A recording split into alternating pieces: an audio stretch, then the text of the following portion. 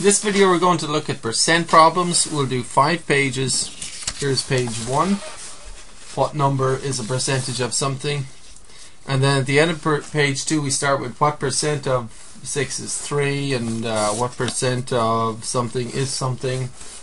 And then by page 4 we're looking at 30 is 50% of what number, 22 is 25% of what number, and so on. And then we'll look at uh, this and then end up with what is 5.4% of that. Okay. Okay. So let's start with page 1.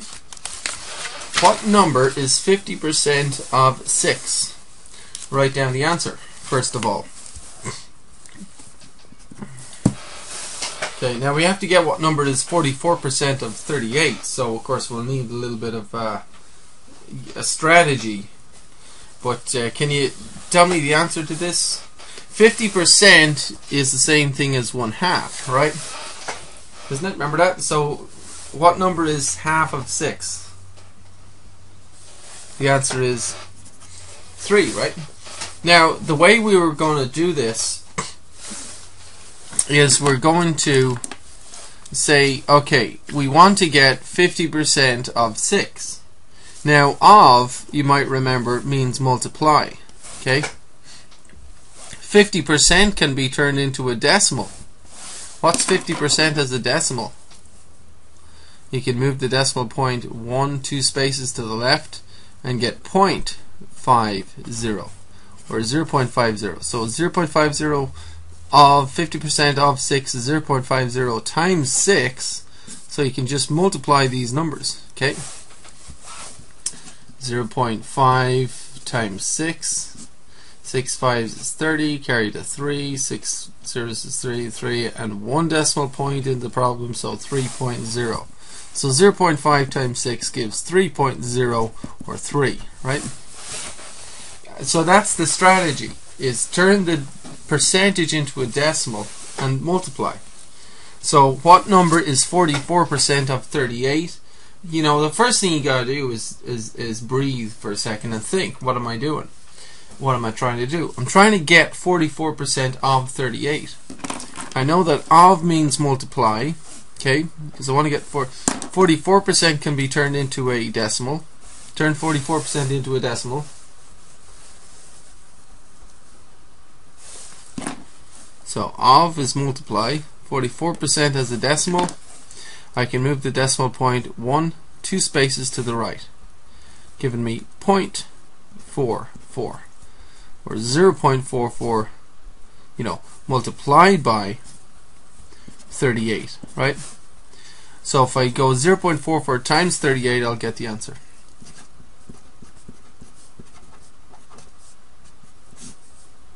So you've got to multiply um, these numbers. 8 times 4, 32, carry to 3. 8 times 4, 32 and 3 is 35, carry to 3. 8 times 0 is 0 and 3 is 3. Put down 0, multiply by 3. 3 fourths is 12, carry the 1. 3 fourths is 12 and 1 is 13. Add these. 2, 7, 6, 1. And there are um, one, two decimal places in the problem, so there's going to be one, two decimal places in the answer. So 16.72 is the answer. 16.72. Okay. So on to page uh, 2. What number is 7.5% of 2,230? So you, once again, you and we could think about this as say social security tax on a monthly wage of two thousand two hundred and thirty dollars, right? So what would the social security tax for the month be for this? So first of all, turn this percentage into a decimal, and what do you get?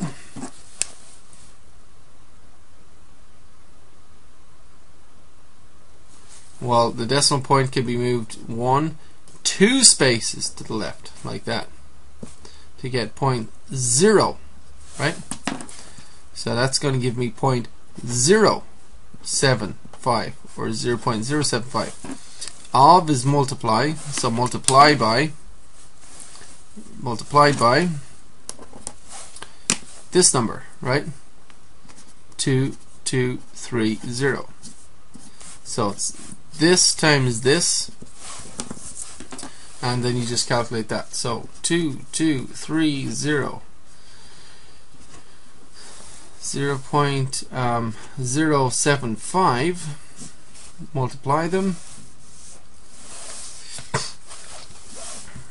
So five zeros is zero. zero, five threes is five, carry the one, five twos is ten, and one is eleven, carry the one, five twos is ten, one is eleven. Put down zero placeholder and multiply by seven. Seven times zero is zero. Seven times three, twenty-one, carry the two. 7 times 2 is 14. 14 and 2 is 16. Carry the 1. 7 times 2 is 14. 14 and 1 is 15 and now add and I've got 0 5 2 7 6 1 and I have 1 2 3 decimal places in the problem. So there's going to be 1 2 3 decimal places in the answer. So that is 167 point two five. So Social Security tax of seven point five percent on this monthly wage is a dollar or hundred and sixty seven dollars and twenty five cents. Okay. What per okay, so so that's the answer there. Now this is a different type of question. What percent of six is three? Can you do that one? What percent of 6 is 3? Just write down the answer.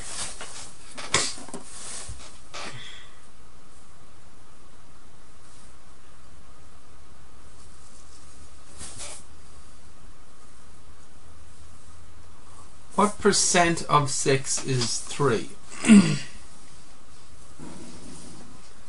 hmm. And um, well, the answer is 3 is 50%, is half of 6. Okay, because 3 is 50% of 6. It's half, right? Um, and I guess one way of figuring this out, and you can decide whether you want to do it this way or not, but what percent is what we don't know. We'll call that P, right? P is the percentage we do not know. Of means multiply times. What percent times 6 is? Is can be represented with an equal sign. Is 3. So what percentage of 6 is 3? Isn't that weird that you can turn that English sentence into an equation? And now we can find P. And p, you see, because it's p multiplied by 6 equals 3, or you could write that as 6 uh, times p equals 3, whatever, it doesn't matter. But the point is, you've got to divide by 6 on both sides. We, we did this before, didn't we? And we get p equals 3 over 6, you see, that's the percentage. And now you just turn this fraction into a percent and you have the answer. Because the answer is 3 over 6 um, and in lowest terms what's that? 1 over 2 right? And then turn that into a percentage. Well you've got to divide 2 into 1 2 into 1 goes 0 times but 2 into 10 goes 5 times.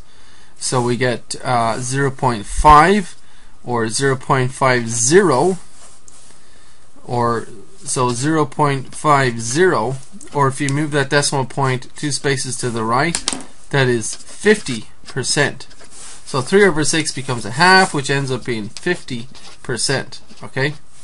So um, yeah that's a, it's a kind of an interesting one some students like to just begin here they just go, okay, 3 out of 6. Look, what percent of 6 is 3? That tells me that I need to go 3 over 6 and just simply turn that into a percentage. Okay, so some students don't bother with the equation. That's fine. I think it's kind of fun to try the equation because it'll give us some practice for uh, for for later problems as well. But you know, if you can get the answer, you can get the answer. So, what percent of 20 is 9? I'm going to set up the equations for all of these just for for the fun of it because I think it's I think it's good practice for you. But what percent is something we don't know? Okay, what percent? I'm going to turn this whole sentence into an equation. What percent? I do not know. And I'm going to call it P.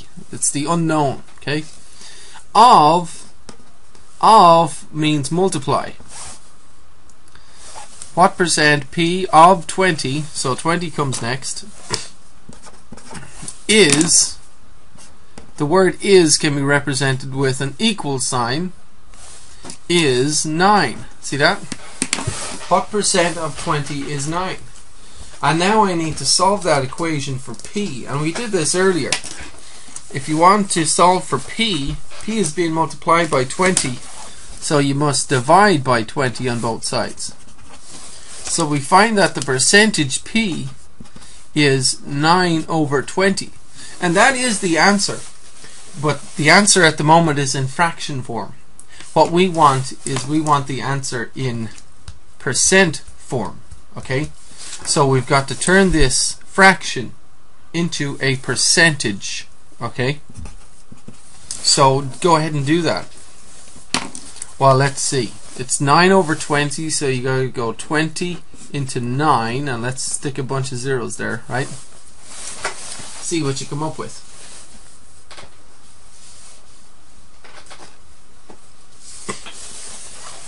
Twenty into ninety.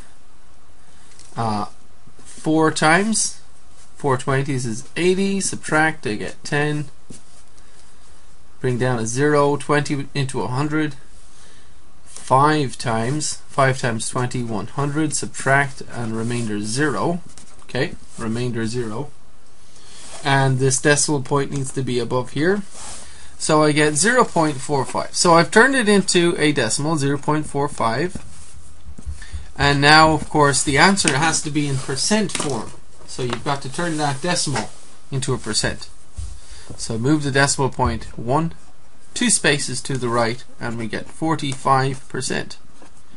And by goodness, I have to say, if you guys are able to do this, you know, like this is awesome. I mean, you going from a sentence to an equation, solving an equation, uh, going from a fraction to a decimal, going from a decimal to a percentage. I mean, you're better at you're already better at math than most people. So you gotta pat yourselves on the back and realize how good you're getting at this point. Because I'm kind of expecting you to do all this, and then thinking, wow, it's really cool if you can do all this at this point. It's really good. Okay. Anyway, so what percent of 16 is 7? by all means press pause and do this one by yourself. Okay, press pause and do this by yourself.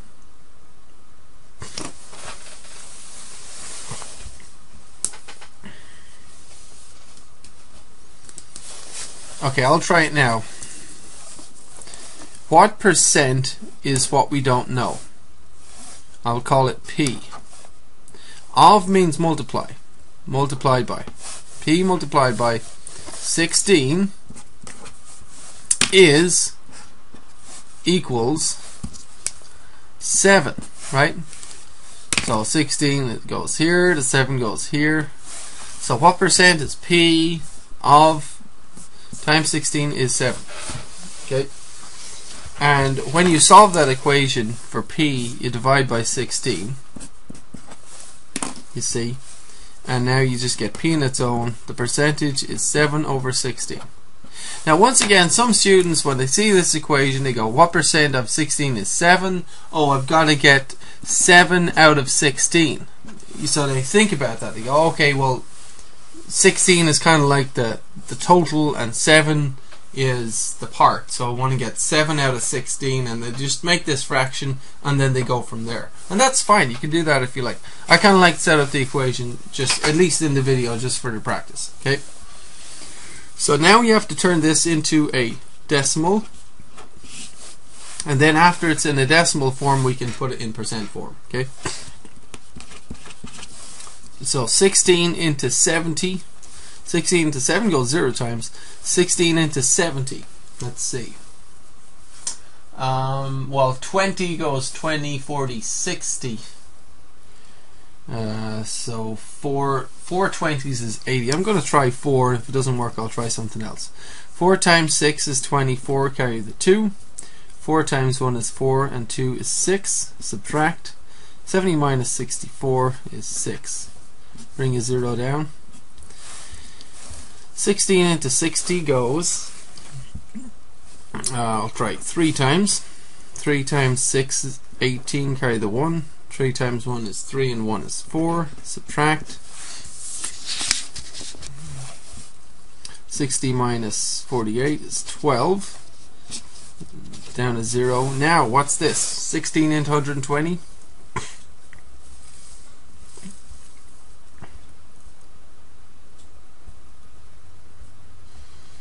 Five sixteens is 80. Oh my goodness, this, this isn't going to be right either, is it? Let's see. Uh, I'm going to try 7 times. 7 times 6 is 42, carry the 4. 7 times 7. 7 times 1 is 7, and 4. 7 and 4 is 11. Okay, need another 0, huh? Because 120 minus 12, 112 is 8. This 0 down, and now this time it should work. 16 into 80 goes 5 times. 5 sixteenths is 80. Subtract, we get 0. At last remainder 0, so the answer is totally 0.4375 and now so we've got the we've got the percentage or the answer as a fraction and a decimal. But now we have to turn the decimal into a percent. So how do you turn that decimal into a percent? Well, move the decimal point one, two spaces to the right to get 43.75 percent. Okay.